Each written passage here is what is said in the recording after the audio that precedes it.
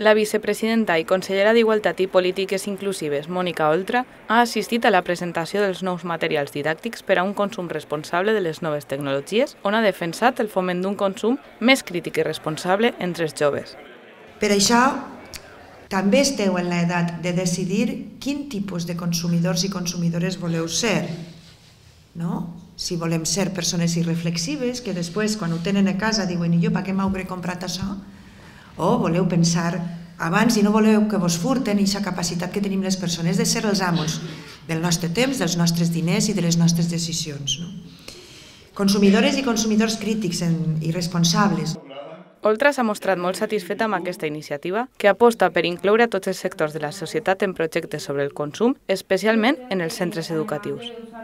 En aquest sentit, el conseller d'Economia Sostenible, Rafa Climent, ha subratllat que l'educació des de la infància és clau per adquirir aquest esperit crític que permet fomentar una cultura de consum cada vegada més justa, solidària i responsable.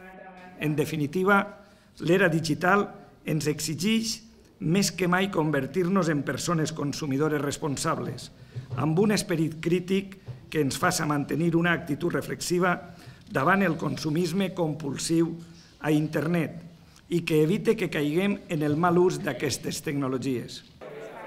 Amb aquesta iniciativa, el Consell torna a tenir en compte a les persones menors en el centre de les polítiques públiques.